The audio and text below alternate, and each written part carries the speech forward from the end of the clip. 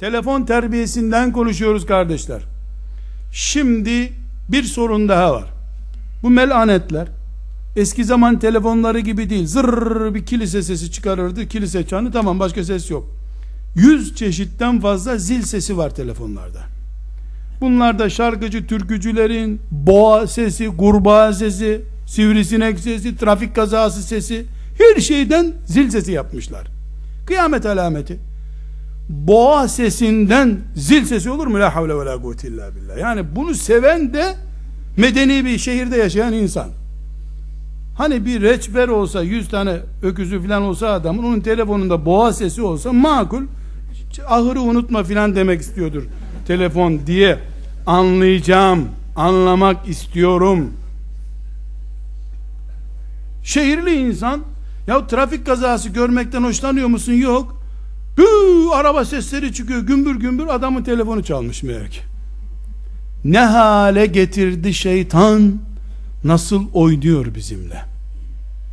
Zevklerimizi rezil rusva etti.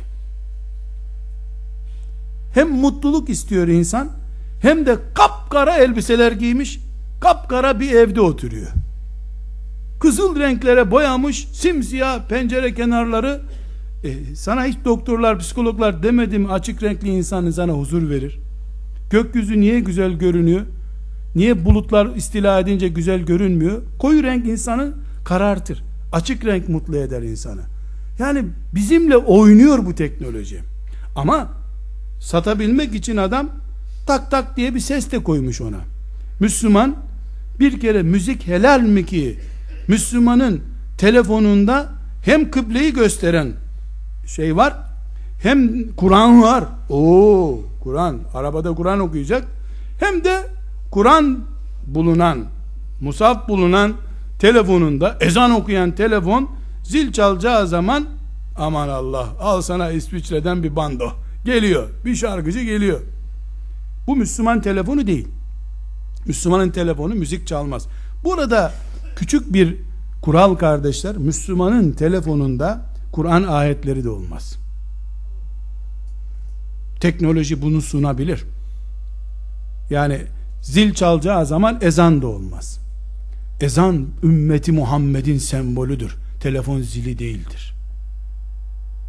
Kur'an Allah'ın kitabıdır. Amel etmek içindir. Harem imamı çok güzel okuyor onu telefon sesi yapmış. Öyle değil bu işler. Bu şeytan taktiği. Oyalıyor bizi.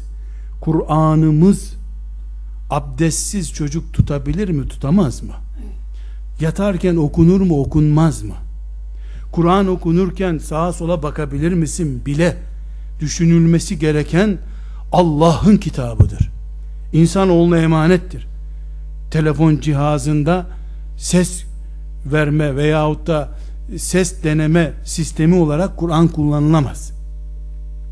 Şimdi İslami kimliğimizi göstersin diye ekranında Kabe resmi ya da Filistinli gazi bayrağı kaldırıyor öyle bir resim.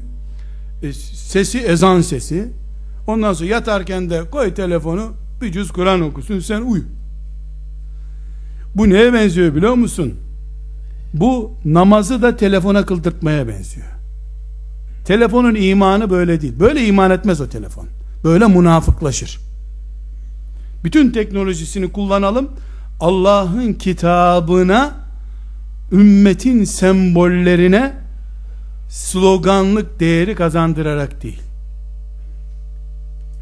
Tabi bu söz şimdi ağır kaçacak biliyorum. La ilahe illallah biz İslami kimlik olarak ezan koymuştuk diyecek.